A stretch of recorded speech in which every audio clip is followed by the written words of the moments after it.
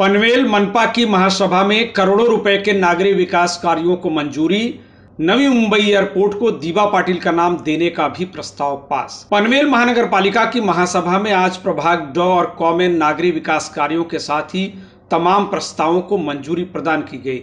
इनमें कलम्बोली, पनवेल और उरन नाका समेत कई इलाकों में सड़क, खेल मैदान और गटर फुटपाथों से जुड़े विकास कार्यों का समावेश है। महापौर कविता चौतमोल ने बताया कि सभागृह नेता परेश ठाकुर ने नवी मुंबई एयरपोर्ट को लोक नेता दीवा पाटिल का नाम दिए जाने का प्रस्ताव रखा जिसे मंजूरी प्रदान की गई है।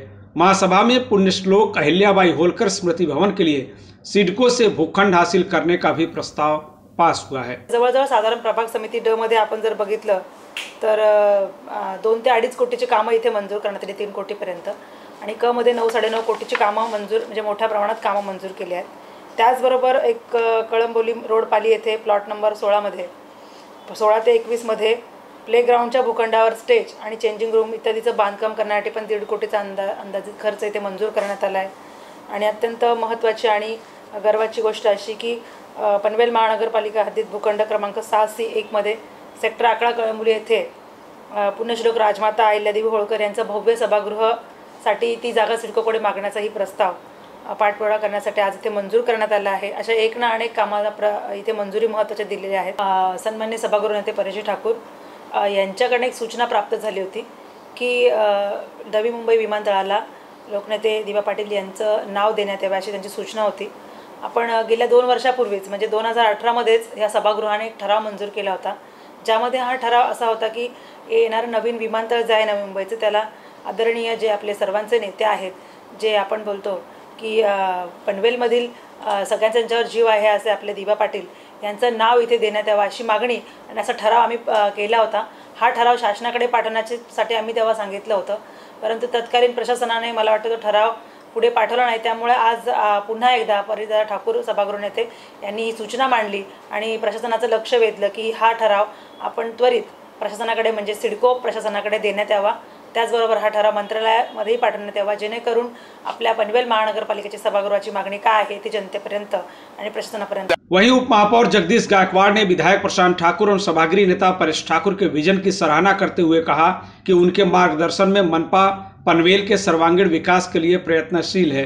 नवी मुंबई एयरपोर्ट के नामकरण को लेकर चल रहे विवाद पर रिपाई जिलाध्यक्ष ने खुली चेतावनी दी कि नवी मुंबई एयरपोर्ट के लिए दीवा पाटिल के अलावा किसी और का नाम मंजूर नहीं है।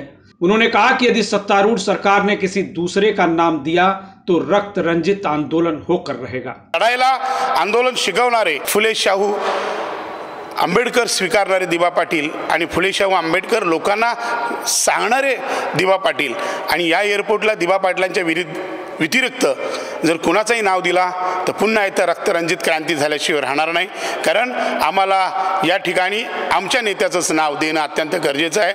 अनेक लोक सांगतात हे नाव देऊ ते नाव देऊ.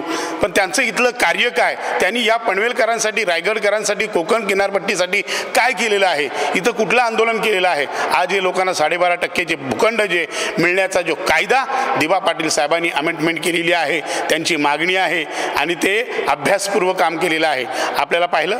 आज एअरपोर्टामध्ये जी जागा गेलेली आहे ती कुणाची गेलेली आहे? ज्यांची जागा गेलेली आहे त्यांचं नाव दिलं पाहिजे. ज्यांचं इथं काहीच नाही अशा उपऱ्यांचं नाव देणं कितपत योग्य आहे असं माझं मत आहे. म्हणून ह्या एअरपोर्टला नाव दिवा पाटलांचंच असेल. कुणाच्या नावाला माझा विरोध असणे हे शंभर टक्केच असेल. कारण इथल्या ज्यांनी रक्त सांडलेलं आहे इथल्या आगरी कोली कराडी बांधवांना दलित आदिवासी बांधवांना मुस्लिम बांधवांना एकत्र घेऊन जाण्याचं काम त्यांनी केलेलं आहे. त्यामुळे रिपब्लिकन पार्टी ऑफ इंडियाचा माझा जो पाठिंबा आहे माझी जी मागणी आहे ती मागणी फक्त दिवा पाटील साहेब यांच्या नावाचीच आहे. Bureau report TV one India. Latest update और खबरों के लिए टीवी वन इंडिया को सब्सक्राइब करें और नोटिफिकेशन पाने के लिए बेल आइकॉन को दबाना मत भूलें।